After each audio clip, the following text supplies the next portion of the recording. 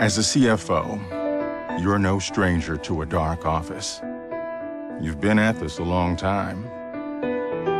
You know that creating business value in a shifting market takes drive, a mastery of financial efficiency, speed, and quality, instant, accurate, and reliable reporting, analytical support for decision makers, prioritization, ongoing performance management and benchmarking,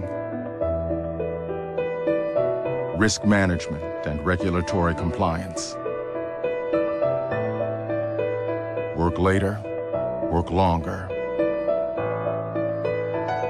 This is the job. Or is it? With a dynamic business, you might even have time to surprise some people.